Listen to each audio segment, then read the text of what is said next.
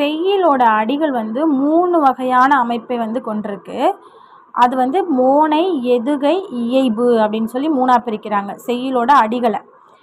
இவை செய்யுளை வகைப்படுத்த உதவுகிறது. செய்யுளின் அடிகளின் அமைப்பை பற்றி அறிந்து கொள்ள இதை நம்ம படிக்கலாம் கீழே.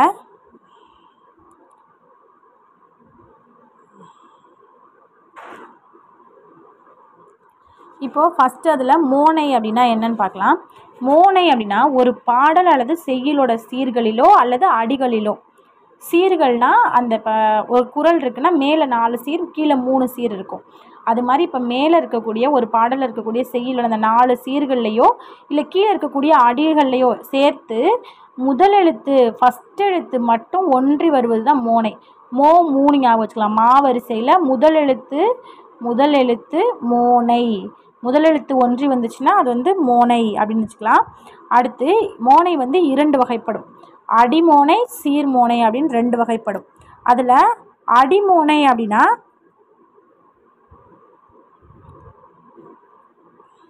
முதல் அடி வந்து முதல் எழுத்தும் முதல் அடி அடிமோனை அப்படின்னா முதல் அடி இப்போ ரெண்டு அடி இருக்குது மேலே ஒரு அடி கீழே ஒரு அடி திருக்குறளில் வச்சுக்கலாம். ம- வந்து முதலெழுத்தும் இரண்டாம் அடியோட முதலெழுத்தும் ஒன்றி வருவதுக்கு பேர் தான் அடிமோனை ரெண்டு அடி கொடுத்துருக்காங்க. ரெண்டு அடியிலையுமே முதலெழுத்து ஒன்றி வரக்கூடியது தான் வந்து அடிமோனை அப்படின்னு சொல்கிறாங்க இப்போ த எடுத்துக்காட்டு தன்னஞ்சறிவது பொய்யற்க பொய்த்த பின் தன்னஞ்சே தன்னை சுடும். இப்போ இதில் வரக்கூடிய தாவும் இதில் வரக்கூடிய இந்த தன்னஞ்சு அந்த தாவும் இதில் கீழே அடுத்து அது ரெண்டாவது அடியில் வரக்கூடிய தன்னஞ்சு. அப்போ இது ரெண்டும் முதல்ல வந்து தா தான்னு வரதுனால இது வந்து மோனை இது என்ன மோனை? அடிமோனை அப்படின்னு சொல்லலாம். அடுத்து நெக்ஸ்ட் இருக்குது வந்து சீர்மோனை. சீர்மோனைனா சீர்தோறும் இது வந்து அடி அதாவது மேலே ஒரு அடி கீழே ஒரு அடின்னு பார்த்தாச்சு. அடுத்து சீர்தோறும் அப்படின்னாக்க அந்த ஒரே அடியிலே வரக்கூடிய ஒவ்வொரு அந்த வேர்டும் வார்த்தைகளும். அப்படி வர்றதுக்கு பேர் தான் சீர்மோனை. சீர்தோறும் முதலெழுத்து ஒன்று வருவது சீர்மோனை அப்படின்னு சொல்கிறாங்க எடுத்துக்காட்டு வந்து இப்போ துப்பாருக்கு துப்பாய துப்பாக்கி துப்பா இருக்குது இப்போ இதில் வந்து இது எல்லாமே இப்போ ஒரு ஒரு அடின்னு வச்சுக்கிட்டோன்னா மூணு இடத்துல இருக்குது மூணு இடத்துல இருக்குது அப்போ இது வந்து ஒரே அடியில் வந்து வரக்கூடிய ஒ- அந்த ஒவ்வொரு சீருக்கும் முதலெழுத்து வந்துச்சுன்னா அதுக்கு பேர் தான் வந்து சீர்மோனை அப்படின்னு சொல்கிறாங்க இப்போ அந்த சீர்மோனையை வந்து ஏழு வகையாக பிரிக்கிறாங்க. சீர்மோனை வந்து எத்தனை வகைப்படும்னா ஏழு வகைப்படும். அது இணை பொழிப்பு ஒரு கூழை கீழ்கதுவாய் மேற்கதுவாய் முற்று அப்படின்னு சொல்லி. இப்போ நம்ம மூணு பா மூணு வ- மூணு வகை பார்க்க போகிறோம் செய்யுள்ளோட அந்த அடியையும் சீரையும் பிரிக்கக்கூடியது. என்னென்ன? எது மோனை எதுகை இயைபு அப்படின்னு சொல்லி பார்க்குறப்போ இது மூணுக்குமே வந்து இது இது எல்லாமே சேமாக தான் இருக்கும். எதாவது இணை இந்த சீர் மோனையாக சீர் மோனையாக இருந்தாலும் சரி சீர் எதுகையாக இருந்தாலும் சரி இந்த சீர் இயைபாக இருந்தாலும் சரி இது எல்லாத்துக்குமே இந்த ஏழு வகை ஒரே மாதிரி தான் வரும். இணை பொழிப்பு ஒரு கூழை கீழ்க்கதுவாய் மேற்கதுவாய் முற்று அப்படின்னு சொல்லிட்டு.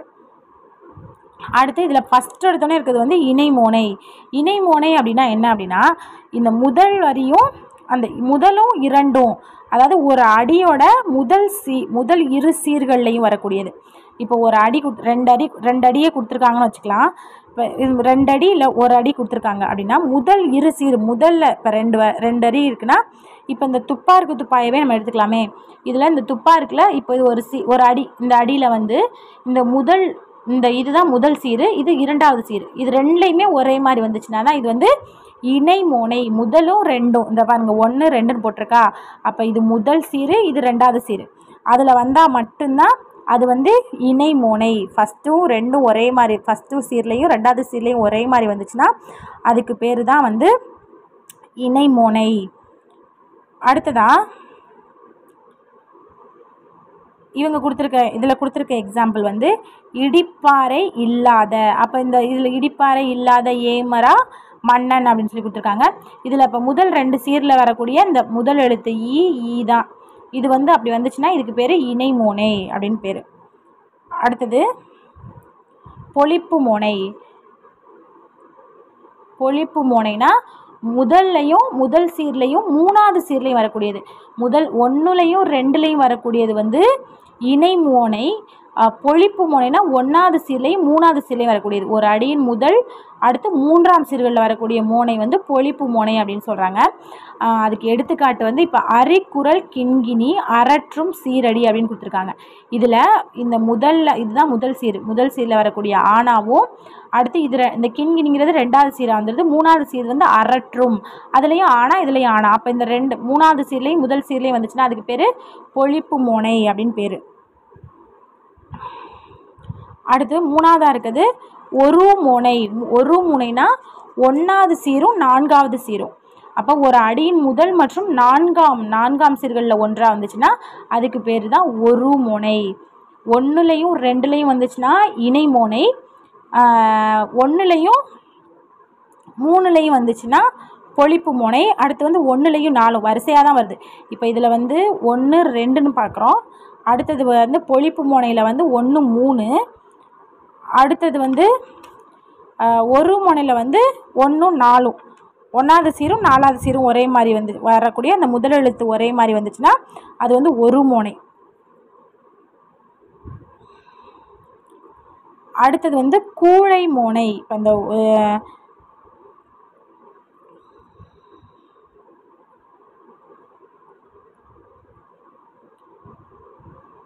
இதில் இந்த ஒரு மோனைக்கு ஒரு எக்ஸாம்பிள் கொடுத்துருக்காங்க. அம்பொன் அழிஞ்சி அம்பொன் அழிஞ்சி கொ- அம்பொன் சாரி கொழிஞ்சி நெடுந்தேர் அகற்றி. அப்போ இது வந்து ஒன்றாவது சீரு ரெண்டாவது சீரு மூணாவது சீரு இது நாலாவது சீரு. அப்போ நாலாவதுலேயும் முதல்லையும் வரக்கூடியது தான் வந்து ஒரு முனை அப்படி வந்துச்சுன்னா அதுக்கு பேர் ஒரு முனை அப்படின்னு பேர். அடுத்ததாக வந்து கூளை முனை. கூளை முனைனா ஒன்று ரெண்டு மூணு. முதல் சீரு ரெண்டாவது சீரு மூணாவது சீரு. மூணை முதல் மூன்று சிறுகள்லையுமே வரக்கூடிய மூனை மோனை வந்து கூழை மோனை. அப்போ அகன்ற அல்குல் அன்னூன். இப்போ இதுதான் ஒரு அடினா அந்த மூன்று சீர்கள்லையுமே ஒரே மாதிரி வந்துச்சுன்னா அதுக்கு பேர் கூளை மோனை. அடுத்தது கீழ்கதுவாய் மோனை. கீழ்கதுவாய் மோனை. அதில் வந்து ஒன்று ரெண்டு நாலு. ஆம், கூளை மோனை அப்படின்னாக்கா ஒன்று ரெண்டு மூணு. கீழ்கதுவாய் அப்படின்னாக்கா ஒன்று ரெண்டு நாலு. இந்த மூணுக்கு அடுத்து நாலுக்கு போயிடுது.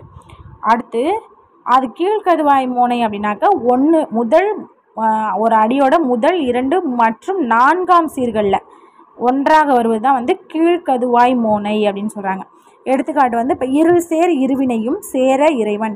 இது வந்து மூன்றாவது சீர். மூன்றாவது சீரில் வராது. மூன்றாவது சீரில் வந்துச்சுன்னா அதுக்கு பேர் கூழை மோனை ஆயிரும். அப்போ இதில் வரல. அப்போ ஈ இந்த ஈங்கிறது வந்து இந்த ஒன்றாவது சீரு இரண்டாவது சீரு மூணாவது நா நாலாவது சீரில் வந்திருக்கு. அப்போ வந்துருந்துச்சுன்னா இது பேர் கீழ்கதுவாய் மோனை அப்படின்னு பேர்.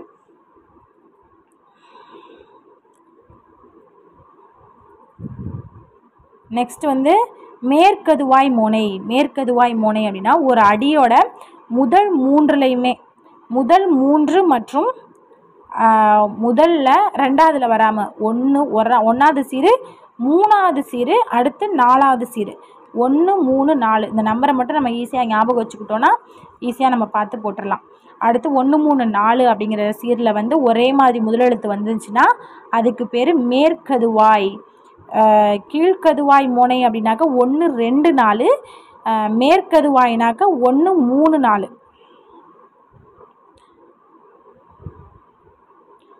இதுக்கு எக்ஸாம்பிள் வந்து அரும்பிய கொங்கை அரும்பிய கொங்கை அவ்வளை அமைத்தோல் அப்படின்னு கொடுத்துருக்காங்க. அப்போ இது நாலு இந்த ஒன்றாவது சீரில் மூணாவது சீரில் நாலாவது சீரில் கொடுத்துருந்தாங்கன்னா இதுக்கு பேர் மேற்கதுவாய் மோனை. அடுத்து கடைசியாக வரக்கூடியது வந்து முற்று மோனை. இது வந்து எல் ஒரு அடியில் இப்போ நாலு ஒரு அடியில் நாலு சீர் இருக்குன்னா கூட நாலு சீர்லேயுமே ஒரே மாதிரி வந்துச்சுன்னா அதுக்கு பேர் முற்று மோனை. எல்லாத்துலேயுமே இருக்குது முற்று அப்படின்னாக்க. ஒரு அடியின் முதல் நான்கு சீர்கள்லையுமே ஒரு அடியின் முதல் நான்கு சீர்கள்லையுமே வரக்கூடிய மோனை முற்று மோனை அப்படின்னு சொல்கிறாங்க கற்க கசடர கற்பவை கற்ற பின் இப்போ நம்ம துப்பாருக்கு துப்பாயை கூட நம்ம எடுத்துக்கலாம். அடுத்தது எதுகை. எதுகை இப்போ மோனைனா முதலெழுத்து ஒன்றி வருவது மோனை. இரண்டாவது எழுத்து ஒன்றி வருவது வந்து இரண்டாவது எழுத்து ஒன்றி வருவது ஏ- அதாவது அடியிலையோ சீர்லையோ. இரண்டாவது எழுத்து ஒன்றி வந்தால் அது வந்து எதுகை அப்படின்னு சொல்கிறோம் எதுகையும் ரெண்டு வகைப்படும். அங்கே மூனையும் ரெண்டு தான் ரெண்டு வகைப்படும். அடி எதுகை சீரெதுகை அங்கே மூனையும் அடிமோனை சீர்மோனை அப்படி தான் அடுத்து அடி எதுகை அப்படின்னா அடி ஒரு அடியில் இருக்கக்கூடிய ரெண்டு எழுத்து ரெண்டாம் எழுத்து வந்து ஒன்றி வந்துச்சுன்னா அதுக்கு பேர் அடி எதுகை. இப்போ அகர முதல எழுத்தெல்லாம் ஆதி பகவன் இந்த அகரில் இருக்கக்கூடிய காவும் பகவன் அதில் இருக்கக்கூடிய காவும் ஒன்றா வந்திருக்கிறதுனால இது வந்து அடி எதுகை. அடுத்து சீரெதுகை. சீரெதுகையில் சீர்தோறும் ரெண்டாம் எழுத்து. அது வந்து அடினாக்க இந்த மொத அடி இது ரெண்டாவது அடி. அதே மாதிரி சீர்னாக்க ஒவ்வொரு அந்த ஒவ்வொரு அடியிலையுமே இருக்கக்கூடிய ஒவ்வொரு சீர்களும் சீர்கள்லையும் ஒரே மாதிரி ரெண்டாவது எழுத்து வந்துச்சுன்னா அதுக்கு பேர் சீரெதுகை. சீர்தோறும் ரெண்டாம் எழுத்து ஒன்றி வருவது சீரெதுகை அப்படின்னு சொல்கிறாங்க அதுக்கும் என்னென்ன எத்தனை ஏழு வகையாக அதை பிரிக்கிறாங்க. இணை இணை பொழிப்பு ஒரு கூளை கீழ்க்கதுவாய் மேற்கதுவாய் முற்று. சேம் அதே மாதிரி தான் இணை மோனைக்கு எப்படி ஒன்று ரெண்டோ அதே மாதிரி தான் இணை எதுகைக்கும். இதை கீழே பார்க்கலாம். இணை எதுக இணை எதுகை அப்படின்னாக்க ஒரு அடியின் முதல் இரு சீர்களையுமே ஒன்று ரெண்டு அப்படின்னா முத முத முதலாக இருக்கக்கூடிய இந்த இப்போ ஆற்றுவார் ஆற்றல் அப்படிங்கையில் இப்போ இது முதல் சீர் இது இரண்டாவது சீர். இங்கே இருக்கக்கூடிய இரும் இங்கே இருக்கக்கூடிய இரும் ஒரே மாதிரி இருக்குது அப்போ இது வந்து இணை எதுகை. அப்போ அடுத்து ரெண்டாவது வந்து பொழிப்பு எதுகை. ஒன்று மூணு. அங்கே பொழிப்பு முனை ஒன்று மூணும் அதே மாதிரி தான் இங்கே பொழிப்பு எதுகை ஒன்று மூணும் ஒரு அடியோட முதல் மற்றும் மூன்றாம் சீர்களில் வரக்கூடிய ரெண்டாவது எழுத்து ஒன்றா வந்துச்சுன்னா அதுக்கு பேர் பொழிப்பு எதுகை. தோன்றின் புகழோடு தோன்றுக மூணாவதுல வந்து தோன்றுக அதே தோன்று தான் வருது. இன்னு தான் வருது. அப்போ இது வந்து பொழிப்பு எதுகை. அடுத்து நெக்ஸ்ட்டு ஒரு எதுகை. ஒரு எதுகை அப்படின்னாக்க ஒன்றுலையும் நாலா ஒன்றாவது சிலை நாலாவது சிலை இரண்டாவது எழுத்து ஒன்றி வருவது. ஒரு அடியோட முதல் மற்றும் நான்காம் சீர்களில் ஒன்றாக வந்துச்சுன்னா அதுக்கு பேர் ஒரு எதுகை அப்படின்னு பேர். இப்போ இது வந்து ஒழுக்கத்தின் எய்துவார் மேன்மை இழுக்கத்தின் அப்படின்னு கொடுத்துருக்காங்க. முதல்லையும் நான்காவது சீர்லேயும் தான் வரணும். முதல் சீர் வந்து ஒழுக்கம் ரெ- இது வந்து ரெண்டு இது மூணு நாலாவது சீர் நாலாவது சீரில் இழுக்கம் இந்த லூ. ரெண்டுக்கும் சேமாக இருக்கிறதுனால இது வந்து ஒரு எதுகை. அடுத்து லாஸ்ட் நாலாவதாக வந்து கூழை எதுகை. கூழை எதுகைனா ஒன்று ரெண்டு மூணு.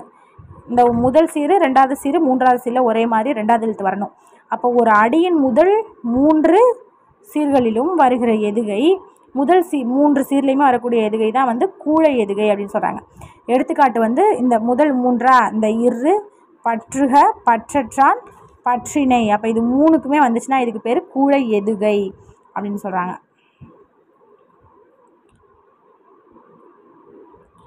அடுத்தது வந்து கீழ்கதுவாய் எதுகை. கீழ்கதுவாய் எதுகைனா ஒன்று ரெண்டு நாலு. ஒரு அடியோட முதல் ரெண்டு மற்றும் நான்காம் சீர்களில் ஒன்றாக வருவது வந்து கீழ்கதுவாய் எதுகை அப்படின்னு சொல்கிறாங்க எடுத்துக்காட்டு ஒழுக்கம் விழுப்பம் தரலான் ஒழுக்கம். அப்போ ஒன்று இப்போ இதில் ரெண்டாவதுலையும் விழுப்பம் லூ. அடுத்து மூணாவது கிடையாது. அடுத்து நாலாவதில் வரக்கூடிய ஒழுக்கம். இது எல்லாம் ரெண்டாவது ரெண்டாவது எழுத்து ஒரே மாதிரி வந்ததுனால இது வந்து கீழ்க்கதுவாய் எதுகை அப்படின்னு சொல்கிறாங்க அடுத்து மேற்கதுவாய் எ- எதுகை அப்படின்னாக்கா ஒன்று மூணு நாலு. ஒன்றாவது சீரில் மூணாவது சீரில் நாலாவது சீரில். ஒரு அடியோட முதல் மூன்று மற்றும் நான்காம் சீர்களில் ஒன்றாக வந்துச்சுன்னா அதுக்கு பேர் மேற்கதுவாய் எதுகை. கற்க இங்கே இருக்கக்கூடிய இரு அடுத்து மூணாவது மூணாவதில் இருக்கக்கூடிய இரு அடுத்து நாலாவது இருக்கக்கூடிய இரு. இது எல்லாம் இது இப்படி வந்துச்சுன்னா இது வந்து மேற்கதுவாய் எதுகை. அடுத்ததான் முற்று எதுகை.